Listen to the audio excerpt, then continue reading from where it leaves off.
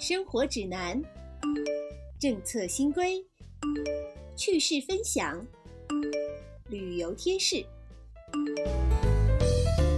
还有什么是您想知道的？美的居委会网罗各类资讯，与您一起在路上知讯息。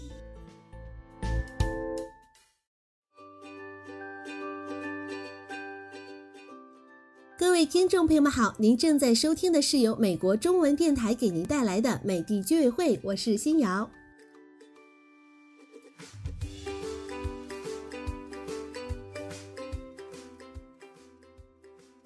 在近一年的高通膨下，哈，很多人呀是不得不考虑，在经济有些动荡的时期，人寿保险要如何起到分散投资、保护资产的作用。如果说你问代理人购买人寿保险的最佳时间，那听到的答案哈，很可能呀是现在，或者呢是任何时候。可是呀，在这个通货膨胀的时代，随着利率的迅速上升，很多消费者呢是能够看到自己的 401k 价值下降，那因此哈也会更想知道，在经济低迷的时期，人寿保险是否是补充投资和退休账户的很好选择。那有些专业人士哈也是给出了一些意见，我们呢也来一起了解一下。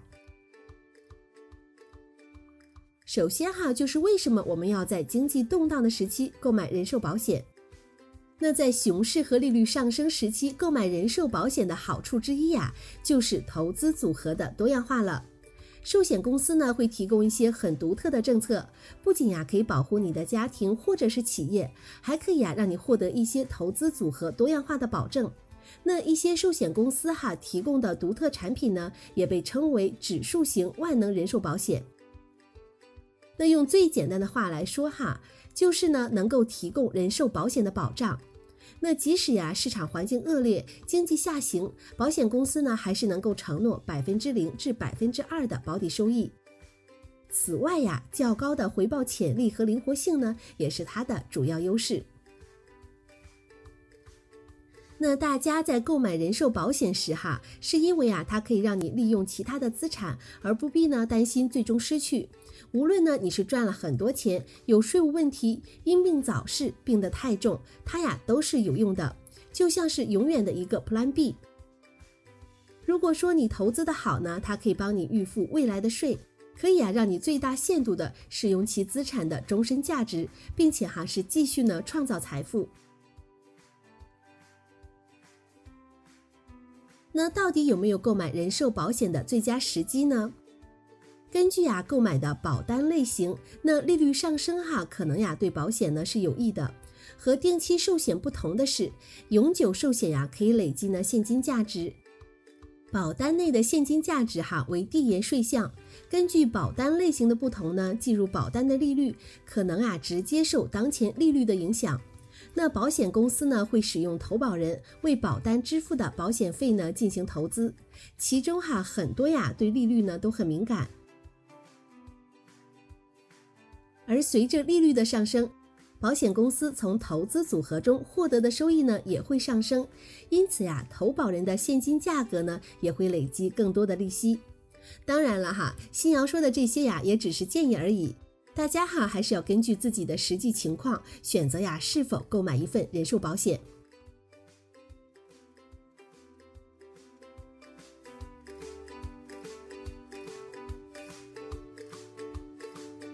不知道哈，大家呀是否有过信用卡被盗刷的经历？那新瑶哈就曾有过这样的经历。虽然说哈最后呀损失的钱财呢都追讨了回来，但是啊回顾整个事件，不仅说给生活带来了些小麻烦，更是哈影响了心情。甚至有段时间呀，我都非常担心信用卡呢会被再度盗刷。那随着信用卡的不断普及和使用，相关的问题哈也确实啊是随之而来。而最为严重的呀，就是呢信用卡盗刷问题了。仅在二零二二年的前两个季度呀，有记录的信用卡盗刷案件呢，就有二十三万零九百三十七起，可以说是非常夸张了。虽然说哈，并不是每个人呢都会遭遇到类似于新瑶这样的事情，不过呀，每位使用信用卡的朋友呢，都应该适当的关注下这个问题。其实哈也是有些方法呀，可以降低信用卡被盗刷的风险。那么在接下来的时间里，我们呢也来一起的了解一下吧。首先呢，就是要妥善的保护好个人信息了。数据泄露以及敏感个人信息的不当储存呀，是信用卡被盗刷的主要原因之一。首先哈，我们要避免或者呢是尽量的少登录一些没有安全认证过的网站，尤其哈是提示需要安装一些插件才能够运行的网站，一定要提高警惕。其次呢，就是尽量少的使用网站自带的记录存储密码的功能项，这个功能哈确实很方便，但是尤其是在公司呀或者是公共场合的电脑网络下，是非常不推荐自动记录密码的。这也是犯罪分子获取大家信用卡信息的主要手段之一。再来哈，就是要尽量的避免过多的使用公共 WiFi 了。现在呀，有很多人，尤其哈是年轻人，是十分依赖公共 WiFi 的。在一些信号并不是很好的餐厅呀，或者呢是咖啡店，但是要知道，通过同一网络被黑掉银行卡、账户号码等敏感信息的可能性呀是更大的。尤其哈是有消费转账等操作时，所以说哈还是建议大家呢要避免在公共网络下进行。设置信用卡的消费提醒哈也是非常重要的。那这个功能哈，相信啊很多朋友呢都知道怎么设置，但是哈可能真正设置消费提醒的人是少之又少。因为呀每一次刷卡呢都会来一个 APP 的提醒或者是短信的提醒，的确哈是有些扰人。而且呀很多人呢没有遭遇过信用卡盗刷的问题，就会觉得哈这个设置呀多少呢是有点多余了。但事实证明，哈，当你设置了消费提醒后呢，即便是遭遇了盗刷，也可以啊在最快的时间内发现，并且呢是进行停卡、报失等止损操作，而不是哈等到月底对账时呢才发现，因为啊到那个时候很有可能呀会造成不可挽回的损失。那新瑶哈就是在信用卡呢被盗刷之后，第一时间呀开通了这个功能，而且哈有的银行呢还提供信用卡的保护功能，就是啊你设置一个平均的消费额度，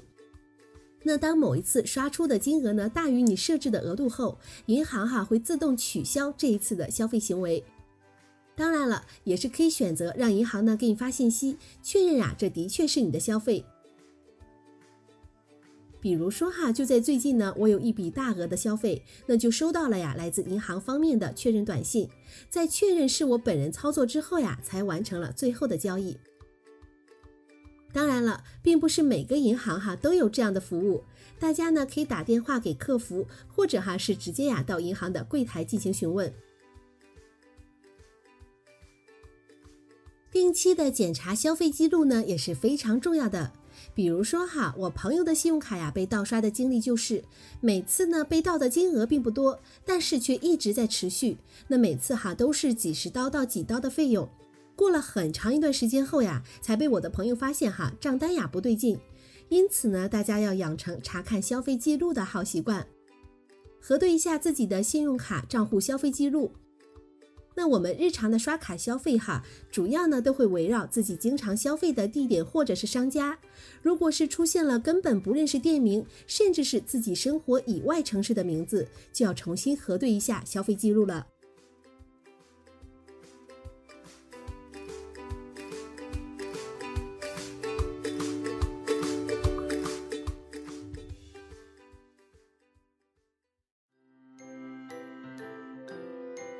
活、学习、工作、休闲、娱乐，全新的节目带您了解更多的美国，全面的视角，让您更好的知晓身边事，让您与信息达成亲密接触。美的居委会总想给您更多。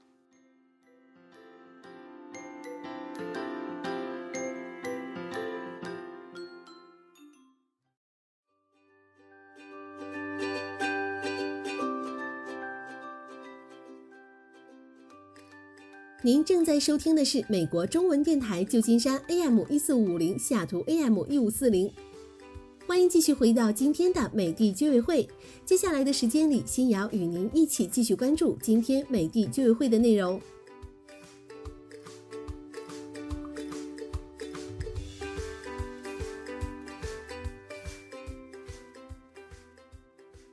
刚才哈，新瑶呀是与大家分享了如何防止信用卡被盗刷的小贴士。不过哈，有的时候哪怕呀是做好了各种防护措施，还是呀会不小心呢被坏人钻了空子。那么，如果一旦发生了信用卡被盗刷的情况，要怎么处理呢？我们哈也来一起的了解一下。多数银行呀是已经发展出了一套标准化流程来处理盗刷案件。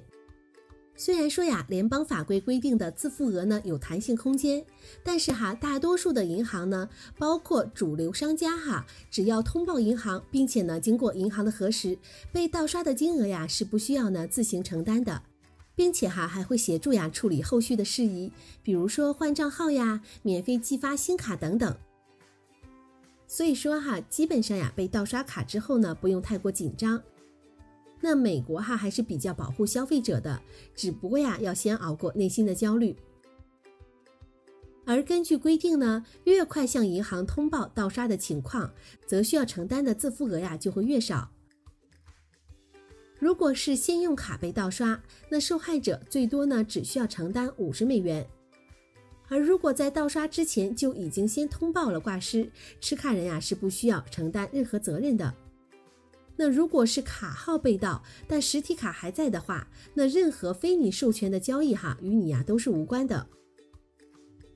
那如果是提款卡或者是借记卡被盗刷的话，在盗刷之前哈就先行呀通报挂失的话，那持卡人呢是不需要承担任何责任的。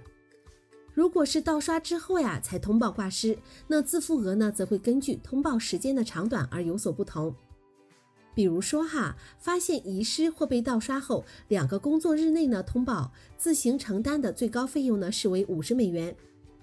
那发现遗失或者是被盗后，两个工作日以上六十个日历天以内才进行通报，自行承担呀需要最高五百美元的费用。银行账单寄出后，超过六十个日历天才进行通报，是需要自行负担全部费用的。但是如果卡还在，只是卡号被盗刷的话，是无需负责的。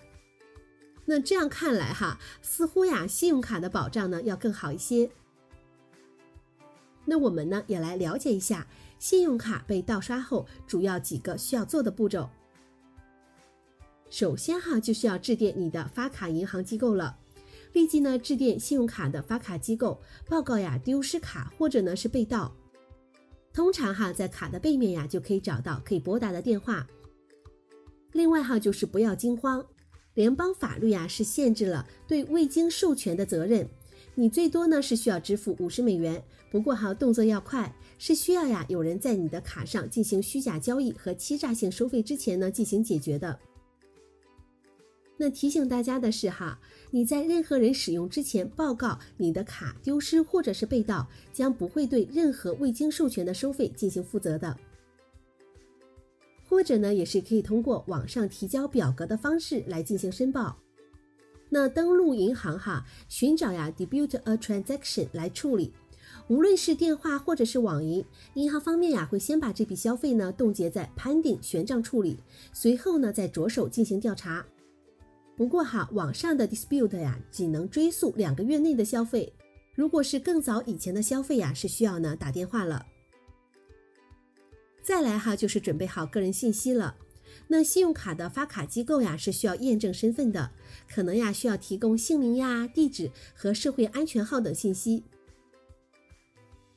还有啊，就是发卡行呢可能会向你确认是何时丢失和被盗银行卡的，以及啊你最后一次收费的时间。他们哈还会审核呀你最近的交易，以查看呀这其中是否有欺诈的行为。那发卡银行呢将会取消账户，并且还会邮寄一张带有新账号的新的信用卡。如果说你的手机钱包内还包含丢失的卡作为支付方式，一定哈要记得更改呀手机钱包。而更换丢失的卡哈是不会影响信用报告和信用评分的。那要记住的是哈，如果呀你使用的卡呢是自动付款的话，要确保哈向这些供应商呢提供你的新卡号。也许哈在短期内呢是需要进行人工付款的。再来哈就是跟进，并且呢保留记录。报失之后呀跟进是个好的方法，向你的发卡机构呢是发送信函或者是电子邮件。那在报告卡丢失之后哈，要仔细的查看信用卡的对账单。如果说发现任何看似欺诈或者是陌生的费用，一定要尽快的致电发卡公司。那在完成这些基本的步骤之后呀，就是等待银行方面的审核了。那大概哈，在一个月之内呀，银行呢就会把盗刷的费用呢消除或者是退款。那另外哈，还有一种呀比较糟糕的情况就是，信用卡呢连带身份证件一起丢失。那么首先哈是可以选择报警的，需要警方的报告呀来处理后续事宜。再来呢就是向银行进行挂失，之后呀还要联系呢三大主要信用机构。目的哈就是在信用记录上标出警示，以免哈影响后期的信用记录。同时呢，也可以要求信用机构寄发信用报告。另外哈，也是再次提醒大家，被盗刷的账户或者呢是卡有设置自动转账的功能，比如说哈每个月呀自动交水电费，那么一定要记得在收到新卡或者是新账号的时候，要尽快的更换新的账户。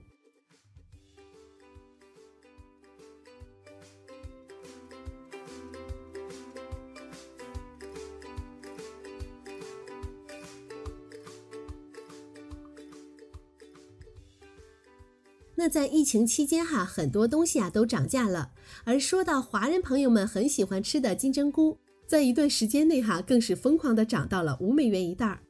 但即便如此哈，很多家庭啊还是会选择呢金针菇作为日常的食材。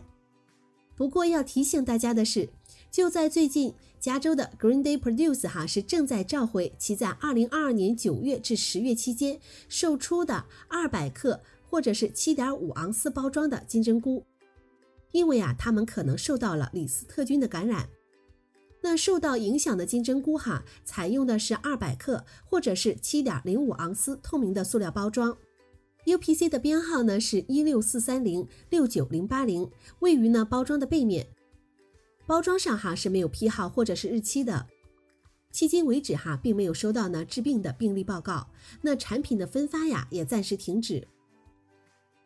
密歇根农业和农村发展部啊，收集并分析了零售样品中发现了存在的污染可能性。如果说呢，你发现哈，最近这段时间呢，你购买了受影响的产品，应该哈退货，并且呢拿到全额的返款。李斯特菌呀是可以导致儿童、幼儿以及其他体弱、免疫系统较弱的人群受到感染，甚至哈是致命的危险。虽然说呀，健康的人呢感染李斯特菌后，可能呢只会出现高烧呀、剧烈的头痛、恶心、腹泻等情况，但是哈，李斯特菌的感染呀，可能会导致孕妇的流产或者呢是死产。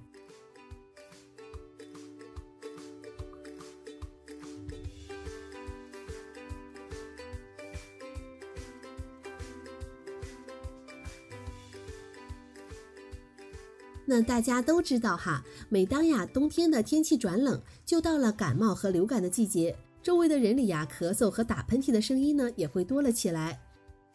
然而呢，细菌病毒是一年四季都在的，夏天的时候呢一样会有人感冒，那又是为什么冬季的时候呢会有更多的人患上流感？最近哈，一项新的研究呀，科学家们呢可能是已经找到了人们在冬天更容易患上呼吸道疾病的生物学原因。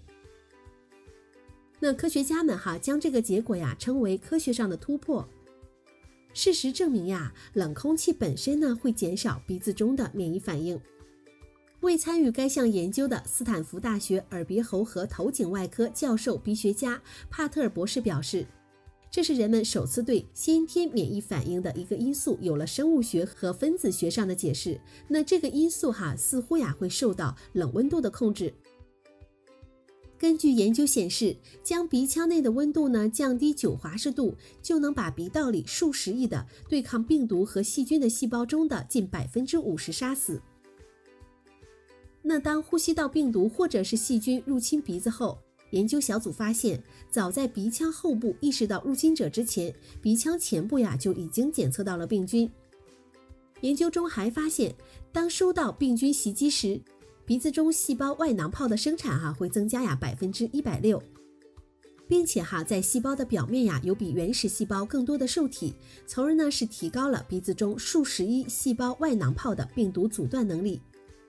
因此呢，医生是建议哈戴口罩呀，不仅呢能够保护人们避免呀直接吸入病毒，还相当于哈是给鼻子呀穿了一件保暖毛衣。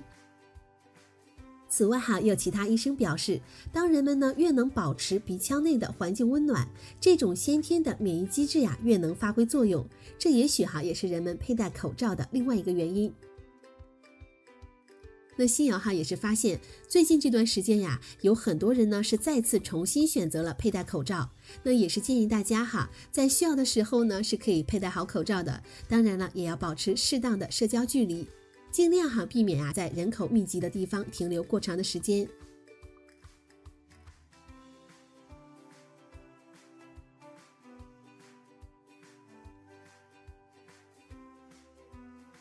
就在最近。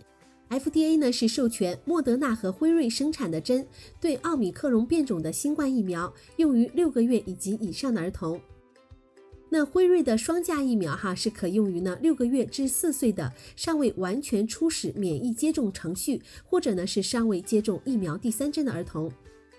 但是啊，已经完成接种的儿童呢，暂时哈还未可取得接种双价疫苗作为加强针。那 FDA 也补充到。支持辉瑞二价疫苗作为这年龄组的加强针数据啊，将会在明年的一月份公布。政府的数据显示，截至到今年的十月三十号，只有百分之二点七的两岁以下的儿童和不到百分之五的两到四岁符合的儿童呢，是完成了新冠疫苗的初始疫苗程序。那这表明哈，年幼儿童的接种率啊，实际啊是非常低的。而根据 CDC 的数据显示，截至到十一月三十号，全美呢共有三千九百七十万人是接种了双价新冠疫苗的加强针。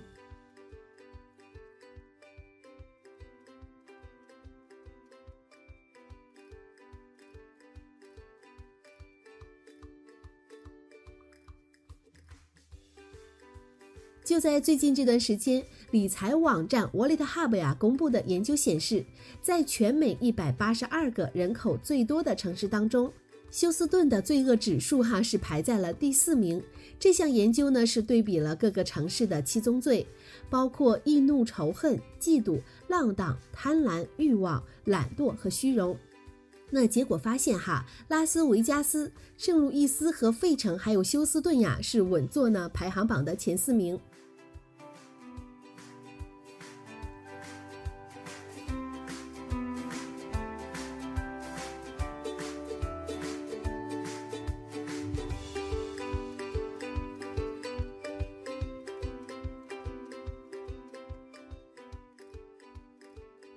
好了，以上呀就是今天美的居委会的全部内容了。感谢您的一路陪伴，这里是美国中文电台，我们下期再约。